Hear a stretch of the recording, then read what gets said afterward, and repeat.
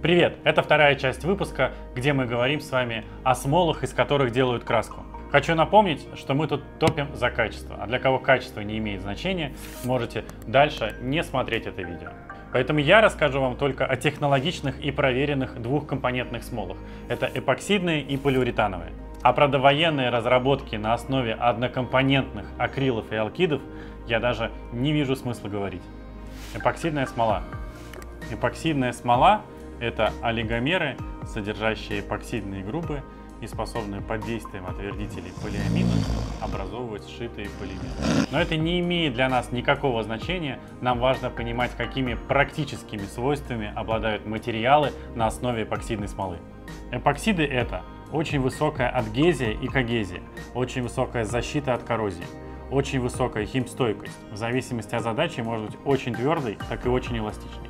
Относительно низкая стоимость.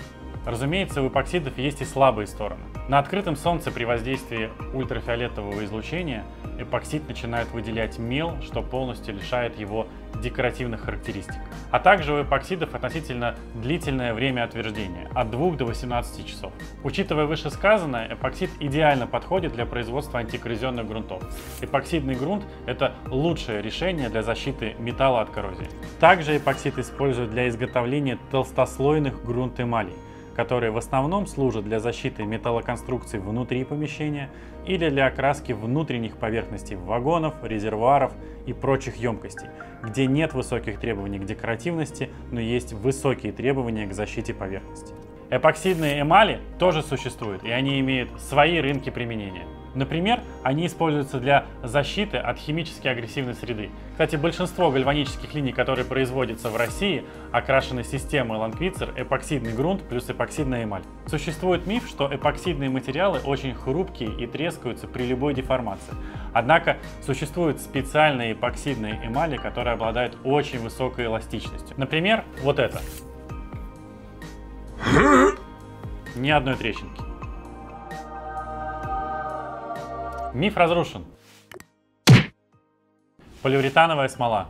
Полиуретаны – это высокая адгезия и когезия, высокая защита от коррозии, очень высокая устойчивость к выгоранию на солнце, высокая декоративность, возможен высокий и стабильный глянец, относительно высокая скорость сушки. Надо признаться, что полиуретаны реально дорогие, и они будут уступать по своим защитным характеристикам эпоксидным продуктам.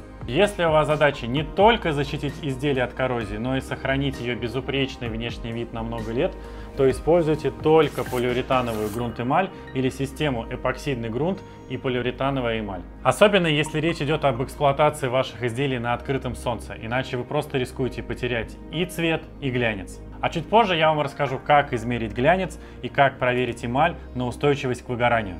Грунты тоже бывают полиуретановыми, однако это больше исключение, чем правило.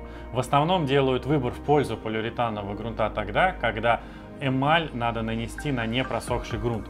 Это очень сильно ускоряет производственный цикл. Такой метод нанесения называется мокрый по мокрому. Про этот метод мы обязательно вам расскажем в отдельном ролике. Ну на этом все. Подписывайтесь на наш канал, ставьте лайк, пишите ваши вопросы в комментарии, мы точно на них ответим. До встречи в следующем выпуске.